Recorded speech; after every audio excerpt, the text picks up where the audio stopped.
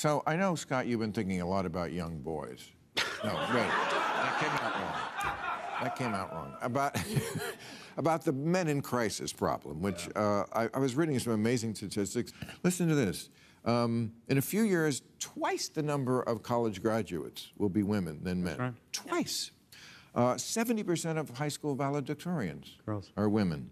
Uh, they're in 10 states, they're a grade level above the boys. In all 50 states, they're at least half a grade level above the boys. Listen, I, this just blew my mind. Single women far more likely to own their own home than single men. Um, far less likely to commit suicide or be in prison. Uh, and almost twice as many are married under 30. 63% of women under 30 are married, only 34% of men. So I, I don't know. Do the liberals have the guts to like take the case of somebody who's kind of lagging behind if it's a male?